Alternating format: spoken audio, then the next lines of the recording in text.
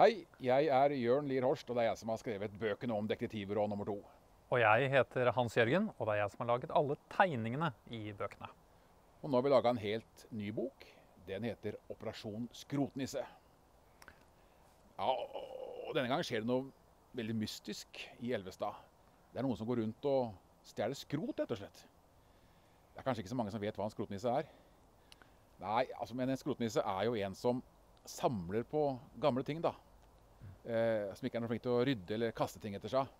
Eh, Men så er det også sånn at det som er skrot for noen, det kan jo være veldig verdifullt for andre.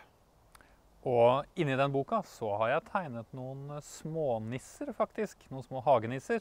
Og vi lurer på om dere kan telle hvor mange det er.